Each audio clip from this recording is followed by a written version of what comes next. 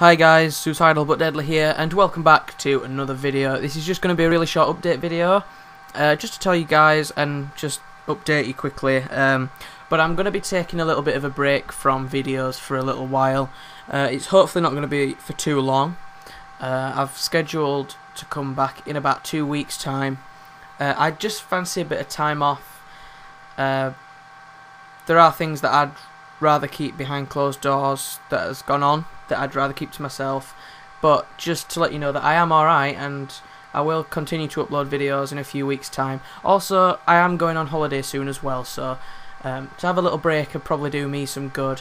And just so none of you guys wonder where I am, because um, yeah, I'm going to be going on holiday for 10 days soon. And I feel like just a little YouTube break could do me some good, so then I can come back strong and up and keep uploading. So, yeah, just to update you guys on that. Uh, Race to Space, the Walking Dead game, that'll be continuing as you know as per usual.